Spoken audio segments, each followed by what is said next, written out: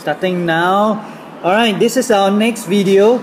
It's called the water cycle. But today I have my class, uh, my students with me. Some of my students. Can you all introduce yourself? Hi, my name is Jason. My nickname is Tony Red Mechanics. And introduce yourself. I'm uh, I'm Matthew Dizon and uh, From? From Ireland. Alright, and we have. Oh, my nickname is Angie, but I want to name today my nickname Thomas Edison.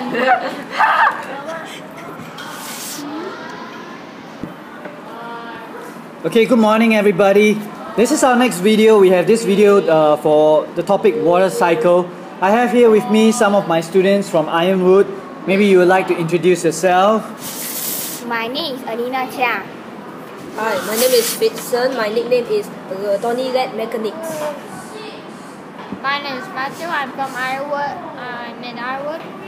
I am Lai Sun Yi. I'm Angie, but I want to name my nickname Thomas Edison. And of course, we have Sean with us as well. Okay, now the topic on water cycle, we're going to do the revision together. And and first thing, uh, water cycle is the continuous. What is water cycle? It is a continuous movement of water from the earth to the sky and back to the earth again. If you can see, look at this diagram here. This diagram represents is the water cycle. Okay, I'm just going to write down here water cycle. Okay, and water cycle basically goes on and on and on. Will water cycle ever stop? No, No. No, it's right? forever. It keeps going and going and going. Alright? Now, uh, another thing we need to take note of is we, water cycle is the main source for water cycle to occur is the sun. Alright, without the sun, there will be no water cycle. Okay, because the sun provides the sun provides heat okay for water cycle to occur so the sun is the main source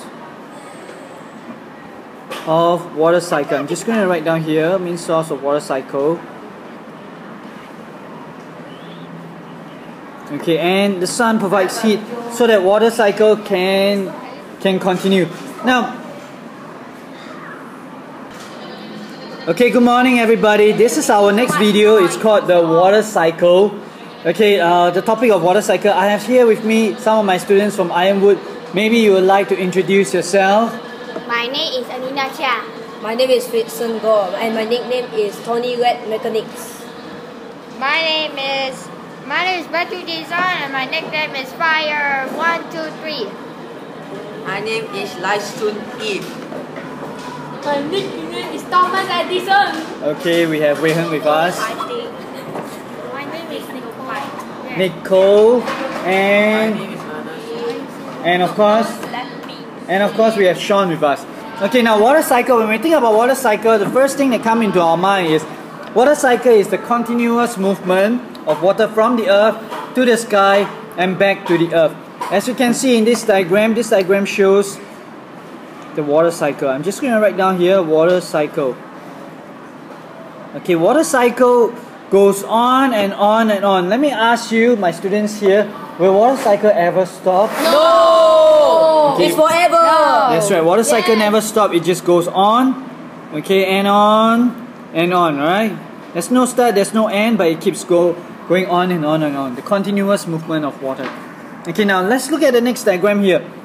Now, before we go on with the water cycle, we must remember uh, some the main source of water cycle. Can somebody tell me what is the main source of water cycle? The sun. That's right, the sun. The sun, I'm going to color here. The sun is the main source of water cycle. Without the sun, there will be no water cycle. Okay, the sun is the main source. Okay, the sun allows, uh, provides heat for the water cycle uh, to occur. Okay, main source of energy. Main source of energy for water cycle. Okay, let me just erase here for water cycle. So that it provides heat for the water bodies. Can somebody give me examples of water bodies? Anybody? Matthew? Snow. Water bodies. Rivers. Rivers. Sea. Ocean. Ocean. Ocean, seas, Lakes, lakes. Lakes. Swimming pool. lakes. Swimming pool. Hey, I else? was about to say answer, then you said. I also say. Reservoir. Reservoir. reservoir, etc., and etc. All right. Of So- course, waterfalls. So the sun, looks here, look here. The sun provides heat, right? The sun provides heat for the water bodies, so that water once the water body gains heat, it will evaporate. Okay, and the water cycles uh, continues. Okay, now the two important processes in water cycles. Philipson, what do you think? Evaporation and condensation. Now please remember how to spell evaporation and condensation. More two important two important processes for water cycle is evaporation Condensation. condensation. Thanks for Wayne, the Thomas Edison. Okay, I'm going to just write down here. Enjoy yourself, YouTube. Now, this diagram I'm going to just show. Once again, let's say this is the water bodies, alright? Uh, Just write down here. Okay, the sun is the main source of energy. We already know that. The sun provides heat, okay, for the earth. And the heat in turn heat, it- heat up the water bodies. First process that will occur, Nicole, maybe you can tell us what will happen when the water bodies gain heat. What is the process? Evaporation. evaporation will occur, right? So I'm going to just write down here evaporation. Yup, liquid to gaseous state.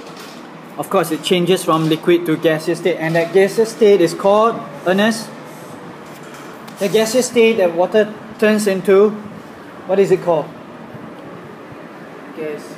Water what? Vapor. Water vapor. Thanks for Matthew. Alright, water vapor. Fire one, two, three. Okay, so evaporation occurs that uh, and water bodies changes into water vapors. Water vapor will rise up to the sky. Now we all know that the sky up there, the higher atmosphere is colder. So when water vapor comes into contact with the colder surrounding, the next process that will occur is what's the next process?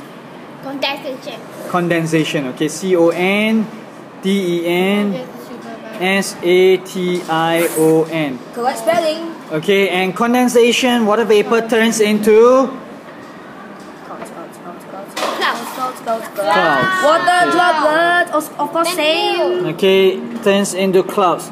And clouds is also the clouds is equal to Class is equals to Water drop. louder please. Water water Droplets. droplets. Yes, water droplets. Of course, then becomes rain.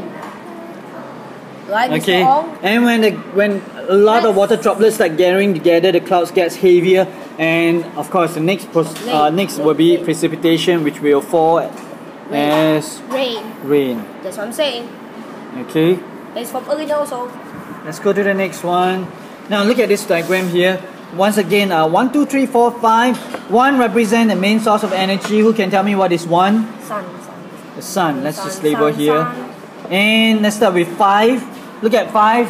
What is five? Water body. Water body, which is the go. sea. All right. Yep, also can. And look at tree. Tree is a process. Can somebody tell me what is 3? Like evaporation. Evaporation. Good. Okay, I'm going to just write down here evaporation. Okay, water vapor will rise up to the sky. And what is two? Two. Name me the process first. Clouds, Clouds. Okay, clouds is two. Okay, but name me the process that causes clouds to happen. Condensation. Condensation. Correct. Thanks from Thomas Edison. You're welcome. Alright. Tối. Let me just. Okay, wait.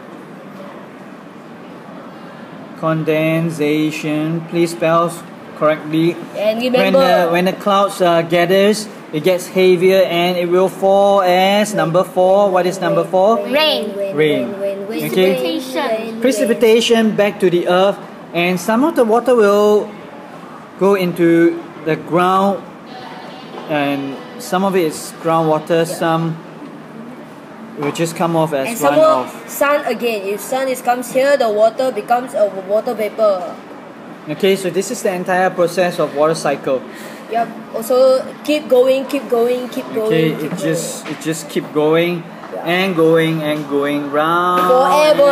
and round. Because as forever. Alright. I know. Until when So now this why are we learning about water cycle and why is water cycle important? Who can tell me? Who can tell me why is water cycle important? It brings back a natural supply of fresh water for, for living things. That's right. Water cycle allows a, a fresh supply of water for living things to survive. Okay, if we were to put it down in words, water cycle is important because it ensures a constant supply or continuous supply of what? Of dirty water? No, of fresh water. Of course, of fresh water. Remember that, guys. This is go- this is actually hard Okay, yes, of fresh remember water that for all say correct. constant supply of fresh water for living things. Felixson. because as Tony Red mechanics.